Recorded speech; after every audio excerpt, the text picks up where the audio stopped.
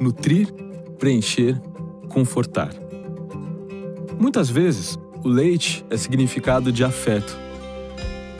No Brasil, ele aparece logo na primeira refeição do dia, acompanhado do café ou sozinho. Nas últimas décadas, a produção leiteira não para de crescer. São milhões de famílias dedicadas a essa atividade para produzir leite suficiente para abastecer todas as casas brasileiras. Mas até ele chegar até você é um longo caminho. E tudo começa, em grande parte, com elas, as vacas leiteiras.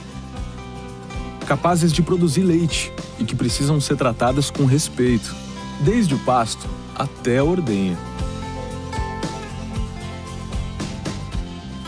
E assim segue nosso caminho leiteiro, das fazendas aos laticínios.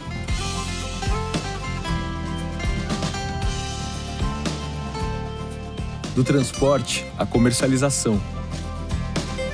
A cadeia de produção reúne milhões de agricultores familiares pelo Brasil.